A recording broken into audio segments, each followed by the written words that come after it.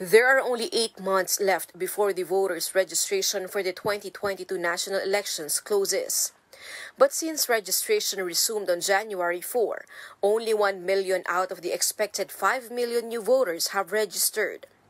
Commission on Election spokesperson James Jimenez attributes the low turnout to the limited operating hours of COMELEC offices due to the pandemic. COMELEC offices are only open Monday to Thursday from 8 a.m. to 3 p.m. But the COMELEC officials said they are looking into opening satellite offices by the end of the month. With close to 4 million uh, registrations still expected to be to be processed, it's becoming very crucial becoming very critical that we basically get a move on. No? So hopefully, by the end of this month nga, makapag-roll out na tayo ng mga satellite registration. The National Movement for Free Elections or NAMFREL also acknowledges that the pandemic hampers the registration of Filipinos overseas and those who had gone home to their provinces. But the Legal Network for Truthful Elections say the pandemic should not hamper the conduct of polls kita naman po natin in other countries, mga kapitbahay natin, Sri Lanka, Myanmar, Singapore, nakakapag-eleksyon naman eh. For election watchdog Contra Daya, the real threat for the conduct of the 2022 elections is the proposed charter change.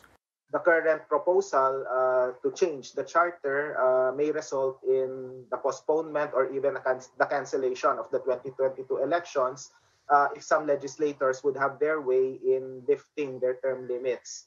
Carito said electoral competitiveness is also one of the problems during the polls, especially in the local race where only few candidates run in a post, and in some cases, a candidate has no contender at all. Because of this, Carito said some Filipinos are left with no choice but to vote for a candidate they barely know. Comelec and NAMFREL are also keen on using social media platforms for voters' education. I've seen some voters education using TikTok. I've seen, uh, of course, you see YouTube no, being the most uh, uh, popular uh, choice for voters education. And we were convincing um, people in the legislature to institutionalize it. No? Uh, I think a couple of uh, years ago. Voters registration will be open until September 30, 2021. For News 5, Jen Kalimon. We are One News.